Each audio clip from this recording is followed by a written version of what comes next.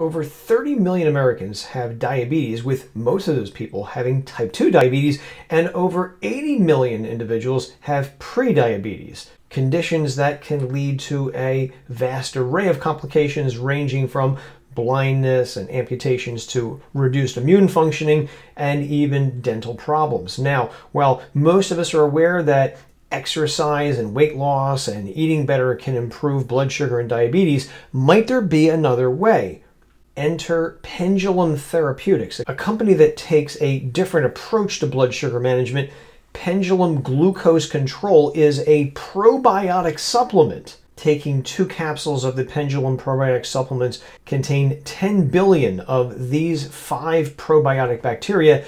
Notice as you read this list the letters and the numbers at the ends of the bacteria these letters and numbers represent the strains of the bacteria being used. The strain is the exact type of microbe that's being used in the supplement. Some companies may only tell us the first two names of the bacteria. That would be the genus and the species of a bacteria. By giving us the third part of the name, that zeroes in on the exact type of bacteria that's being used.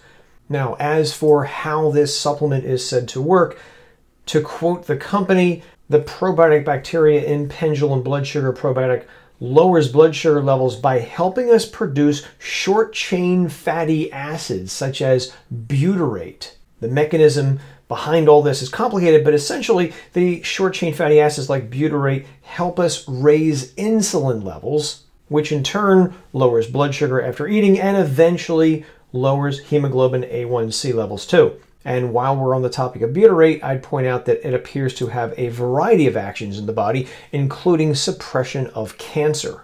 Okay, so so much for butyrate and short chain fatty acids. The real question, however, is does pendulum blood sugar probiotics actually work?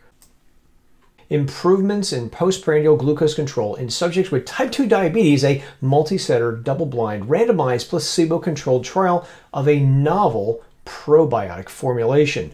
In this three months investigation, which was conducted by the company that makes this supplement, 76 people with type 2 diabetes were given either the pendulum glucose control supplement or a placebo. Those taking the glucose control supplement by pendulum had over a 30 point reduction in blood sugar after three months, and they also had a 0.6% decrease in hemoglobin A1C levels. As is pointed out by the American Diabetes Association, if you could decrease your A1C level by one point, for example, going from 8% down to 7%, you would have reduced your risk of diabetes problems and complications by 21%, and you'd experience almost a 40% reduction in other diabetes complications such as kidney failure and blindness. The Akkermansia bacteria that's in the Pendulum Therapeutics blood sugar control supplement is interesting because people who have more Akkermansia bacteria in their gut tend to be overall more healthier than those who have less of this bacteria.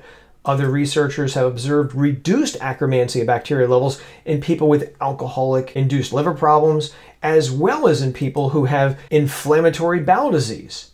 Equally interesting is that research suggests that the diabetes drug metformin also increases Akkermansia production. And if that is true, is it possible that some of the blood sugar lowering effects of metformin are actually due to its ability to shift gut health, promoting more Akkermansia bacteria?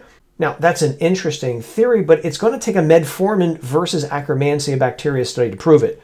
Okay, so some things to think about if you're going to experiment with this Pendulum Therapeutics probiotic supplement. As for side effects, in that clinical study that I mentioned a little bit ago, mild nausea and diarrhea were reported by some people within the first three to five days of use. Not everybody experienced those issues, however. So if you were going to try this probiotic supplement, maybe starting with less than is recommended for the first week may help cut down on any side effects that you might experience. Also, if you have this supplement, you're probably also going to notice that inulin is also listed on the label. Inulin is a soluble fiber that's used in this supplement and other supplements, by the way. Inulin is a prebiotic.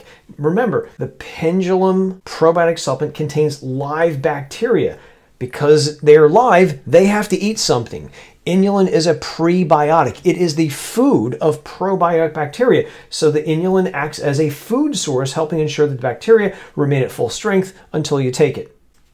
In their own clinical study that was summarized above in the video, some of those individuals were also taking metformin. That said, Glucose control is not a drug, it's a supplement, but it's a medical probiotic and it's best used under your doctor's supervision so they can regularly test your blood sugar and your hemoglobin A1C levels. So definitely speak to your healthcare provider if you use metformin or other diabetes drugs. So Based on the available evidence, the pendulum probiotic supplement appears to reduce both blood sugar and hemoglobin A1C levels when used for several months because this is a medical probiotic supplement, if you do take any medications, it's always best to do it under the supervision of your doctor who can monitor you regularly. If you've tried this supplement, leave a comment below and let me know what happened. Until next time, I'm Joe from supplementclarity.com. Take care.